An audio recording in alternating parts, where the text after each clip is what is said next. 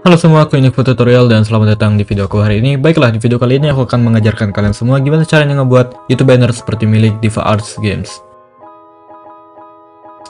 Baiklah, ini adalah salah satu requestan dari penonton Unique Tutorial yang bernama Holis Pro. Baiklah, dia itu meminta uh, gue agar membuat tutorial cara ngebuat banner Diva Arts Games. Yang di mana kalau gue lihat itu lumayan simple desainnya dan juga ya lumayan menarik.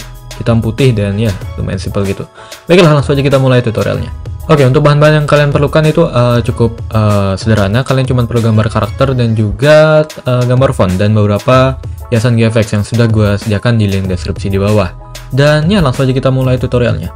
Oke, aplikasi yang akan kita gunakan di sini seperti biasa ada dua. Yang pertama itu ada Pixel Lab dan juga Photoshop Touch. Dan kalian bisa uh, download keduanya di link deskripsi di bawah. Dan ya, langsung aja kita mulai dari aplikasi Pixel Lab. Baiklah, uh, inilah uh, aplikasi Pixelab-nya. Di sini masih tampilannya default ya. Uh, ada layer text dan juga background berwarna hijau. Oke, new text ini kita bakal ubah menjadi teks yang bakal kita gunakan. Kalau kalian lihat di bannernya itu cuma me, cuman memerlukan tiga huruf dari namanya, jadi kalian cuma perlu pakai inisial nama YouTube channel kalian. Baiklah, sebagai contoh juga gue bakal gunakan nama yang sama saja, yaitu DAG ya. Nah, kalau uh, sudah kalian bisa langsung klik OK. Baiklah, uh, langkah selanjutnya kalian bisa mengubah uh, font dari tulisan ini menjadi font yang sesuai. Untuk mengubah font, kalian bisa langsung klik simbol A yang ada di atas ini. Kemudian kalian bisa scroll sedikit ke bawah, dan di sini bakal ada pilihan AB font. Langsung aja kalian klik, kalian pergi ke My Fonts dan kalian tinggal search fontnya. Oke, okay. uh, eh, sebelumnya kalian pastikan sudah memasukkan fontnya. Gue sudah sediakan di link deskripsi bahan juga. Kalian bisa langsung klik yang ada di atas sini dan kalian tinggal cari uh, folder tempat kalian menyimpan font untuk bannernya. Oke, okay, untuk nama fontnya sendiri itu adalah Gotham Black atau Gotham Bold. Ya. Oke, okay, untuk font yang bakal kita gunakan yaitu adalah Gotham Bold. Ya, Gotham Bold. Sip. Seperti ini, kita bakal langsung besarkan dia. Uh, langkah selanjutnya kita bakal mengubah layer ini menjadi transparan. Caranya itu adalah dengan uh, mengklik yang ada di bawah sini. Setelah itu kalian ubah menjadi transparan. Ini ada pilihan transparan ya, langsung klik. Nah, sekarang sudah transparan, sekarang kita sudah siap untuk ngebuat bannernya karena sudah ada teks dasarnya. Sekarang kita bakal simpan uh, gambar teks ini. Caranya adalah dengan mengklik yang ada di atas sini. Setelah itu kalian bisa langsung klik Save as Image. Nah, di sini formatnya pastikan sudah PNG dan untuk dimensinya kalian bisa pastikan sudah ultra biar tidak ada pixel yang blur. Nah, kalau sudah kalian bisa kalian bisa langsung klik save to gallery. Oke, langkah selanjutnya kalian bisa langsung buka aplikasi Photoshop, Photoshop Touch atau PSCC atau PS Touch untuk ngebuat bannernya. Oke, langsung saja kita pindah. Oke, dia untuk uh, aplikasi Adobe Photoshop Touch-nya tampilannya bakal seperti ini. Baiklah, hal yang pertama yang perlu kalian lakukan adalah ngebuat suatu project. Nah, untuk ngebuat project itu gampang banget. Pertama-tama kalian bisa langsung klik yang di bawah sini, setelah itu kalian klik blank dokumen. Nah, untuk ukuran banner sendiri itu width-nya 2560 dan height-nya 1440. Kalian langsung ubah aja width-nya menjadi ukuran banner yang sesuai. 2560 dan juga 1440. Nah, jika sudah di sini kalian perlu memasukkan pembatas uh, bannernya, kalian bisa langsung klik yang ada di bawah sini dan kalian klik tanda tambah, kalian pilih foto layer dan kalian pilih foto library. Sekarang kalian tinggal cari folder tempat kalian menyimpan uh, file bahannya. Oke, okay, ini dia untuk uh, bahan-bahannya, cukup uh, simple. Sekarang kita langsung masukin pembatas bannernya. Ini ada yang paling bawah, banner. Sip, kita klik.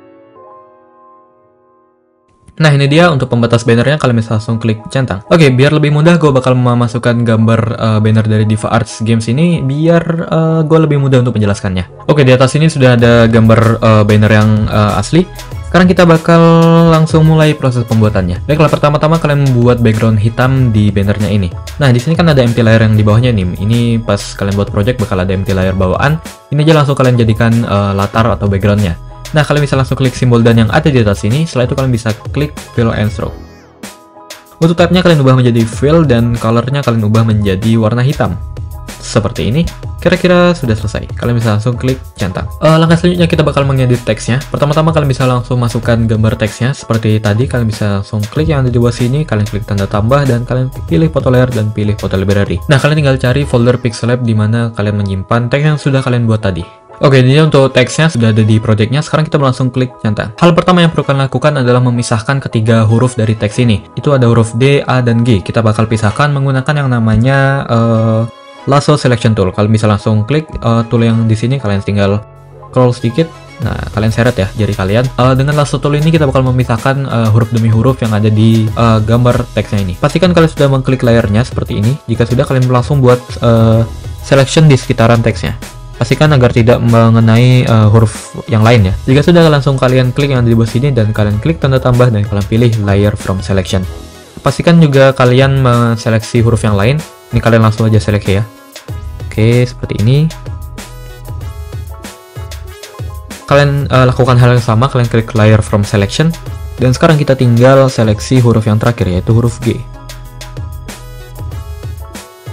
Nah, kalian klik layer from selection lagi. Ketika kalian mengklik layer from selectionnya, kalian itu mengklik uh, layer yang ada tiga teksnya ini ya, jangan layer yang lain, biar hasilnya nanti nggak muncul layer kosong. Nah, jika sudah, kalian bisa langsung hapus uh, layer yang masih ada tiga hurufnya. Seperti ini. Nah, sekarang sudah terpisah jadi tiga huruf.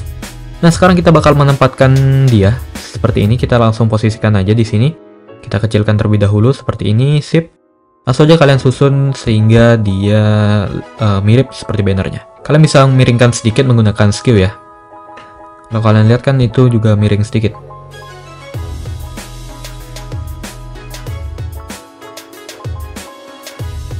Nah, sekarang teksnya sudah kesusun rapi. Baiklah, uh, langkah pertama kita bakal memberikan uh, efek glow dan juga warna ke teksnya ini. Uh, langkah pertama, kalian bisa uh, select pixel terlebih dahulu huruf A-nya. Nah, huruf yang kedua ya, kalian klik select pixel seperti ini. Jika sudah, kalian uh, bawa dia ke bawah dari huruf G-nya. Seperti ini. Setelah itu kalian bisa klik simbol dan dan kalian pilih gradient. Untuk gradientnya sendiri, kalian bisa langsung pilih yang basic terlebih dahulu seperti ini. Langsung kalian flip atau reverse spotnya seperti ini sehingga uh, warna abu-abunya yang ada di atas. Jika sudah seperti ini kalian bisa langsung klik centang. Lakukan juga uh, untuk huruf G-nya ya. Dan untuk huruf D-nya kalian tidak perlu memberikan gradien warna karena kita nggak bakal ngasih seperti uh, highlight bayangan gini. Nah, uh, langkah selanjutnya kita bakal memberikan yang namanya inner glow. Uh, untuk inner glow sendiri uh, untuk ngebuatnya itu gampang banget. Pertama-tama kalian bisa langsung select pixel terlebih dahulu, teksnya kalian buat empty layer seperti ini. Kalian klik simbol dan kalian pilih fill and stroke. Type-nya kalian ubah menjadi stroke dan color-nya kalian ubah menjadi warna putih. Untuk width-nya sendiri itu bebas, biasanya gue bakal gunakan sekitaran 10 seperti ini atau 11 ya, bebas kurang lebih sekitarannya segitu. Jika sudah kalian bisa langsung klik centang. Setelah itu kalian bisa klik extract, kalian ubah blend modenya menjadi linear dodge. Kemudian kalian berikan yang namanya Gaussian blur. Untuk blurnya sendiri kalian bisa atur sekitaran uh, eh, 12,7 seperti ini. Setelah itu kalian bisa select pixel lagi layar teksnya. Kemudian kalian hapus uh, layer glow-nya lagi. Seperti ini. Oh ya, pastikan uh, layer uh, gininya masih terisi. Kemudian kalian bisa gunakan spray tool. Colornya kalian ubah menjadi warna putih dan kalian tutupi sebagian atasnya sehingga kayak muncul sedikit highlight dari teksnya ini. Oke? Jadi kalian lakukan seperti ini.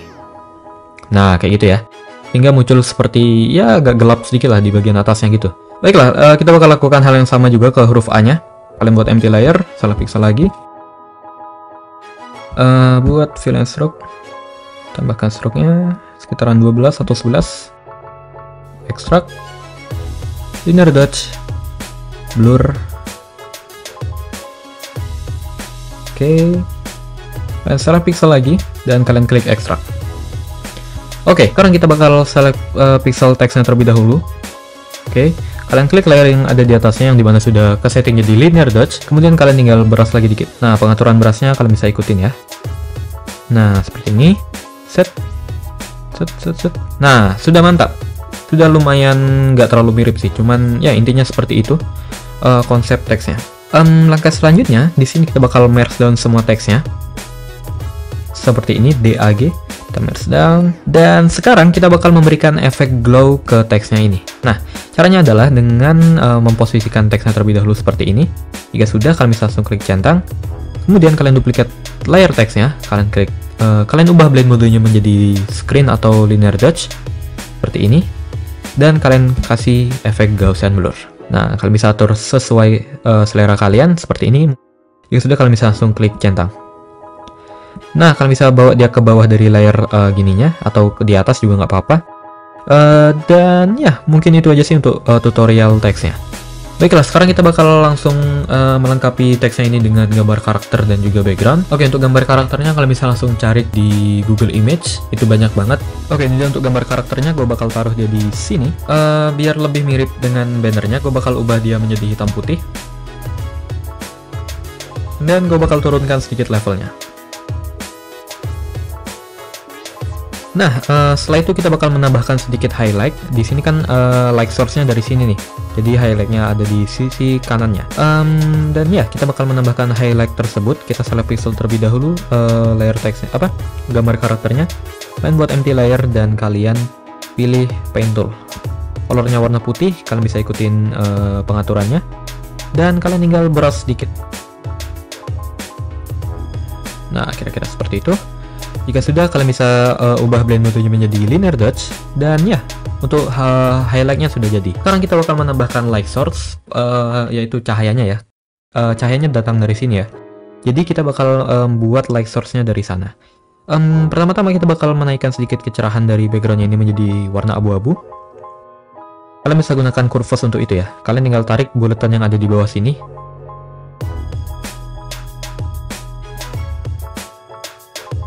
Oke, okay, uh, eh, mungkin kira-kira seperti ini. Sekarang kita bakal tambahkan vignette. Kalian klik gradient dan kalian tambahkan uh, layer seperti ini. Nah, ini kalian atur seperti ini ya.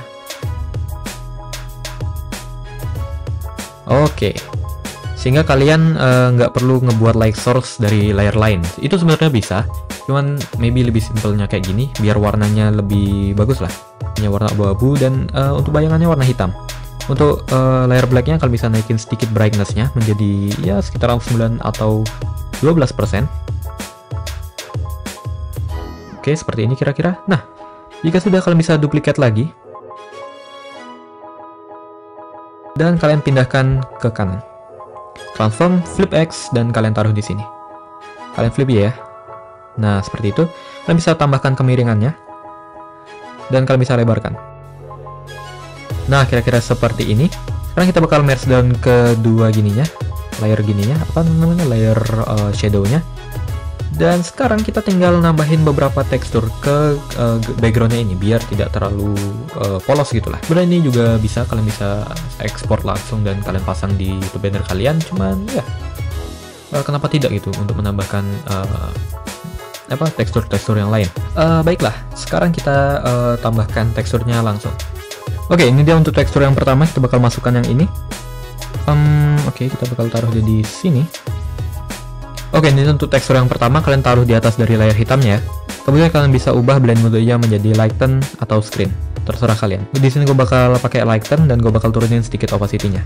Oke, sekarang untuk tekstur yang kedua, kita bakal masukkan juga. Untuk menghindari uh, tekstur yang tajam gitu gimana ya? Nyebutnya. Uh, ini kan masih layer uh, kepisah gitu. Jadi kalau ketika kalian ngubah blend mode-nya bakal kelihatan kayak garis uh, warna yang berbeda gitu. Untuk mengatasi hal tersebut kita bisa gunakan fade di sini. Seperti ini. Kalian bisa uh, reverse spotnya dan kalian bisa atur seperti ini. Nah, kayak gitu ya. Biar dia tidak uh, muncul seperti uh, garis hitam yang seperti gue sebutkan tadi. Nah, kira-kira seperti ini. Kalian bisa ubah blend modenya menjadi screen atau lighten, terserah kalian. Sini karena masih agak biru-biru, gue bakal gunakan black and white untuk membuatnya jadi hitam putih. Well, kira-kira seperti ini. Sekarang kita bakal uh, berikan sedikit efek petir ya, seperti yang ini. Kita bakal tambahkan efek petir. Oke, ini dia untuk layer petirnya. Kita bakal kecilkan dia, dan kita bakal taruh dia di sini. Oke, uh, blend modenya kalian ubah menjadi linear dodge, dan kalian ubah, uh, apa tuh namanya? uh, warnanya menjadi hitam putih agar selaras dengan bannernya. Kalian bisa kecilkan lagi dia dan kita bakal tempatkan di tempat yang sama. Oke, okay, seperti ini. Nah, sekarang uh, untuk bannernya sudah hampir jadi. Sekarang kita bakal merge down semua layer backgroundnya. Dan kita bakal turunkan sedikit uh, biar lebih gelap dan lebih seperti bannernya gitu. Ini kan kalau kalian lihat agak cerah gitu. Kita bakal turunin sedikit. Um, kira-kira seperti ini, mungkin sudah lumayan mirip. Dan ya, mungkin itu aja sih untuk tutorial bannernya. Oh ya, ini kan kalau kalian lihat ini uh, efeknya agak foggy gitu gimana ya gue nyebutnya? Uh, agak abu-abu gitulah. Untuk nyiptain efek tersebut kalian bisa gunakan yang namanya uh, layer uh, light yang gue sediakan. Bentar gue bakal masukin dulu. Nah ini dia untuk uh, efek layarnya yang gue maksud ya. Gue bakal taruh dia di sini. Dan sebelum kalian ubah blend modenya, kalian tambahkan curvesnya ya. Nah seperti ini kalian naikkan layer yang di bawahnya ini. Nah jadi agak abu-abu gitu. Seperti ini kira-kira kalian sesuaikan aja dengan warna tergelap dari bannernya ini. Kemudian kalian ubah blend modenya menjadi lighten. Nah, ini kan seperti agak abu-abu gitulah seperti bannernya ini. Dan ya, mungkin itu aja sih untuk tutorial bannernya. Uh, lumayan simple dan lumayan mudah. Kalian bisa merge down terlebih dahulu semua layernya dan membuat dia lebih rapi. Kalian klik flatten. Kemudian kalian uh, buat kotakan seperti ini. Kalian rapikan lagi. Kalian gunakan transform untuk mengubah uh, selectionnya ya, selectionnya. Seperti ini, kalian bisa turunin sedikit, matikan lock, aspek rasionya seperti ini. Sip. Kemudian kalian uh, klik layer from selection. Kalian duplicate dua kali layer bannernya. Dan kalian tinggal uh, perbesar layer yang kedua dan juga yang ketiga. Dan sisakan layer yang paling atas itu jangan diubah ya karena itu sebagai uh, banner utamanya. Kalian merge down keduanya. Berikan efek Gaussian blur dan viola. Bannernya sudah jadi Nah, kalian bisa langsung klik dan di sini untuk menyimpan gambarnya, kalian klik save dan tunggu sampai loadingannya selesai. Kalian klik icon share yang ada di bawah sini, klik save to gallery, centang projectnya, pilih uh, pilih jenis file yaitu JPEG atau PNG terserah kalian dan kalian bisa klik OK. Dan ya itulah tutorial YouTube banner Diva Art Games untuk Holy Pro dan ya itu lumayan simple dan lumayan menarik untuk dibuat. Semoga ini bermanfaat untuk kalian untuk mempercantik YouTube channel kalian. Uh, aku bakal close videonya di sini. Thanks for watching. Uh, I'll see you next time and always be unique.